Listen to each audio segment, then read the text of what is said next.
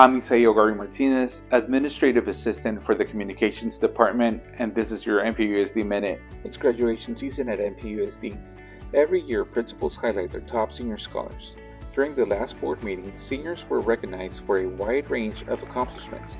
Each school highlighted their valedictorian and salutatorian, as well as recipients of various awards such as the Principal's Award, Resilience Award, CTE Student of the Year, Visual and Performing Arts Student of the Year, School Spirit, Student Athlete of the Year, Tech Scholars, and Diploma Program candidates.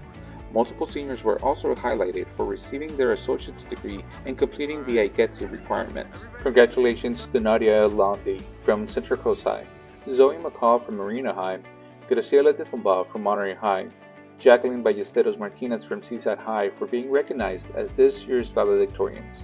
This is your MPUSD Minute.